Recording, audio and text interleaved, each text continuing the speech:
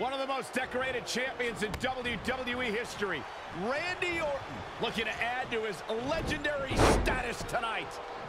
And on the other side of the ring, you've got Keith Lee. He calls himself Limitless, and it's actually... RKO! Ref, get ready to raise his hand.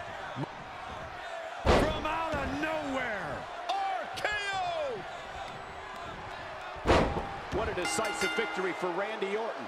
Incredible.